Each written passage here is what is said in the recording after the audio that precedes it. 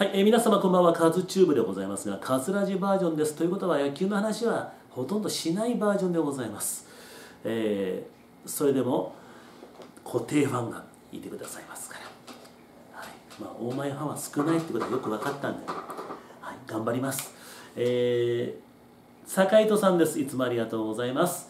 えー、カズラジバージョン配信ありがとうございます。こちらこそご視聴本当にありがとうね。えー、大前さんに質問です。大前さんは実況、執筆、取材、教室の先生と様々なお仕事をされています。が、その中で特にこだわっている仕事道具はありますか？えちなみに僕はボールペンを使うならジェットストリームの 0.38mm の3色ボールペン一択ですということで坂井さんこれが言いたかったのね。でもねこれはもう激しく同意します。僕も筆箱の中にはあのバファローズの筆箱の中にはジェットストリームの0.38の3色のボールペンが1本と、えー同じジェットストリームの 0.5mm の3色ボールペンが2本入ってます。合計3本ジェットストリーム入ってるの。で 0.7mm も持ってたんだけど使わないんでも最近はねあの0.5と0.38をそれぞれ、まあ、細かい文字を書くときは0.38それ以外は0.5で書いてます。3色。この前3色と思って買ったらさ1つがシャープペンシルだった。失敗しました。ジェットストリーム。激しく同意いたします。ありがとうございました。書きやすいのよ。僕あれあの替えのインクをちゃんと持ってるよ。3色。赤青黒の。あのスコアボつけるにもちょうどいいんだよね。あの3色あればね、えーありがとうございます。琉球の織立さんです。桜満開のようで関西の知り合いたちが写真をたくさん送ってくれています。いいですね。新緑の季節は気持ちがいいですよね。4月は塾に新しく入ってくれる生徒を集めなければいけない時期です。ああそうか。新入生募集ってやつね。あそうそう。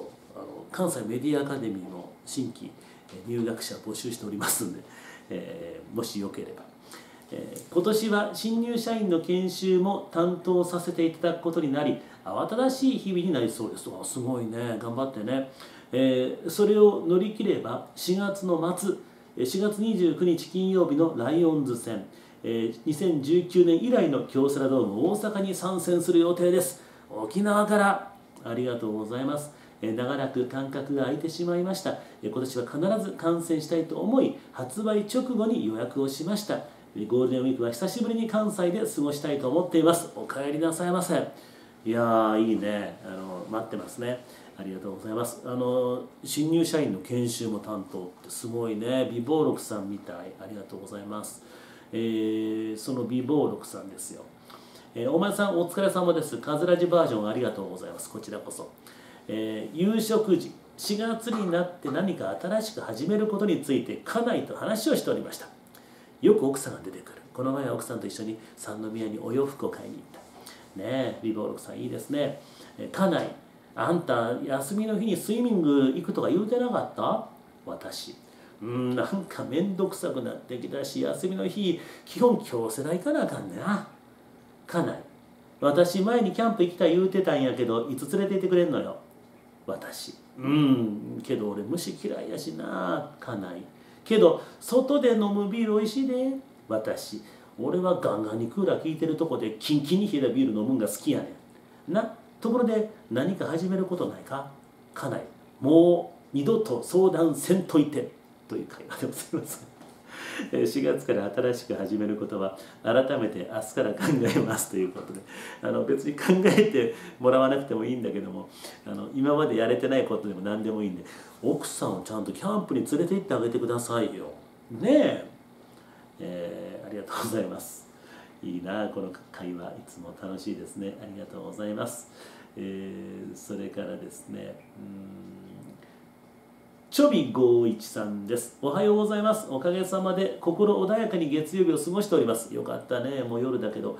えーこの春の予定というか、もう今度の日曜日のことなんですが、お4月の10日のことね。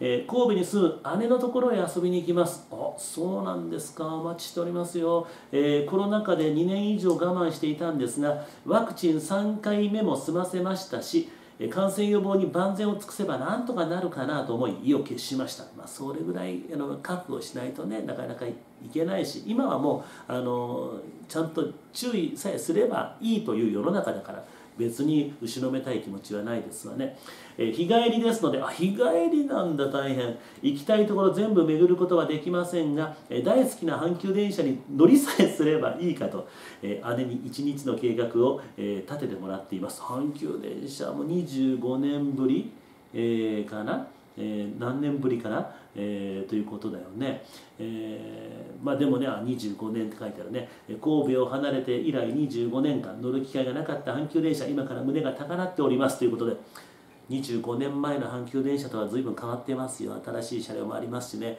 あの駅のムードなんかも変わってると思いますんで、えーまあ、神戸線でしょうからねあのどこのあの駅でいらっしゃいますでしょうか。え案外お近くだったりするわけですけどもね、えよろしくお願いします。お気をつけて阪急電車堪能してください。ありがとうございます。えー、谷健さんいつもありがとうございます、えー、暖かくなってきて新緑の季節私もこの時期が1年で最も好きです。もうこれ間もなく新緑になってくるからね。さて今年の私の新緑の季節はこれはまたいい話なんだ。ヨーロッパで働く妻に会いに行きます。グローバル。えー、ゴールデンウィークに5連続有給をくっつけておよそ3週間という超長期をお休みいただきました、えー、結婚してすぐに私がアメリカに単身赴任帰国したら入れ違うようにヨーロッパに単身赴任となった妻とはこの3年間ほとんど会えていません。そりゃそうだね、えー、織姫と彦星より会っていないんちゃうかな、えそんな妻は私の織姫です。オリックスの織姫ね。なんちゃってということ。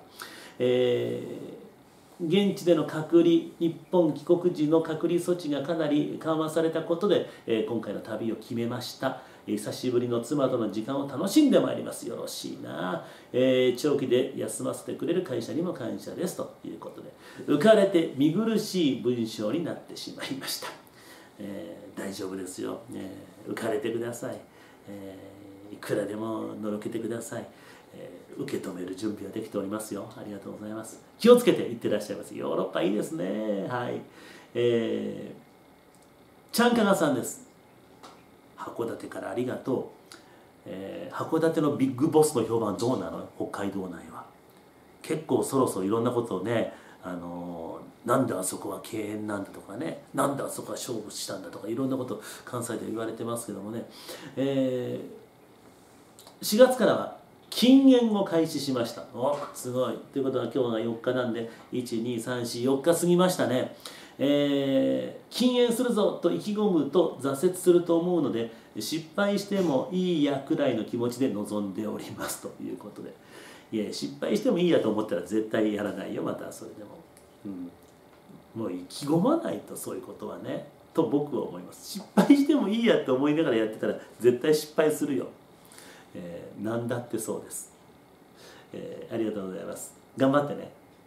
よろしくお願いします、えー、それからですね月の和牛さんいつもありがとうございます、えー、今日昨日のことね。えー、大前さんの実況で中島マジック中島マジックではなくて、えー、始球式をされた岡田さん初の中島イリュージョンを使われていたので、えー、全く始球式とは関係ないと思っていましたが、えー、一人でクスッとしておりました。これ違うのよ。あの中島、えー、イリュージョンっていうのは、えー、中島イリュージョンという何かねこうあのそうプラカードみたいなの持ってた人がいてそれが一瞬映ったのよテレビで。でそれで僕はそういうふうに言ったんだけども、えー、中島イリュージョンはもちろん岡田師匠にも配慮しておりますがね、えー、埼玉は日曜日雨が降り続いて予定していた愛犬を連れての、えー、桜の花見散歩ができませんでした。少し残念です。あ残念ですね。今日あの関西はね昼間ポカポカだったんだけど東京寒かったみたいね。夜になってね関西も寒いですわ。はい。えー、ありがとうございます。えー、みーぽんさん、えー、お前さん、癒しのカズラジバージョンありがとうございます。えー、昨日から降り続く雨で桜が散っております。散りゆく桜の花が儚いですね。え、先日もお前さんがおっしゃっていたように、えー、人弁、人に夢で儚いとは表現の情緒がありますね。え、日本語の美しさですね。ということで。ですねまあ人が夢を見ることが儚い儚いという言葉の裏にはなかなか叶うものではないという意味がありますね、えー、だから人の夢というのはそう簡単には叶わないということなんでしょうかね、えー、簡単に叶うものは夢じゃないんだよ。でも叶わないものも夢ではない。ね、そういうことなんだろうなというふうに思います。だから儚い。この、えー、人が夢を抱く、えー、その夢に向かっていくその過程での距離感。これが儚いという。この距離感が絶妙なんだよ。近すぎても遠すぎてもダメ。近すぎてすぐ叶うものは夢じゃないし遠すぎて絶対にそれは果たせないであろう。 achieve できないものに関して言うとそれはもう絶対に夢ではない。届きそうで届かない。でも届かないようで届くそれが夢なんだと思いますね。だから人に夢と書いて儚いと読むんでしょうね、えー、ありがとうございます、えー、それからえー、バババカボンさんです、えー、昭和の歌のお話をお聞きしたいんです。以前ちょっと昭和の歌やってたんだけどもね。またやります。皆さんにとっての昭和の歌をお聞かせください。皆さんにとってのまあまあもうあのいいよ。もうあの数チューブカズラジのリスナーって大体年齢的に同じようなもんでしょう。だからまああの若い方もいらっしゃるけどね。谷健さんも33だからね。だけど皆さんにとって、まあ、昭和というのはどんなイメージがあるのか。あのあなたの好きな昭和の歌をそれでは募集したいと思いますね。あなたが選ぶ昭和の一曲。そうそうそう。誰かが僕のあのこの前書いたね、まあ、こだわりますが文春野球のさ26年前の、えー、26年前のあのお話を小説にしたというね、えー、それについてどなたかが僕のツイッターの方に26年前というその、まあ、昔の話に共感する人が少なかったんじゃないですかという的外れなコメントをする人がいて、えー、文章に、えー、昔のこと今のことって関係ないですよね。別に今のことを書けば読んでもらえるっていうもんじゃないしね、えー、僕はその小説風に26年前のことを書いたわけ。それが新しい題材のものであるか古い題材のものであるか全く関係ないですね。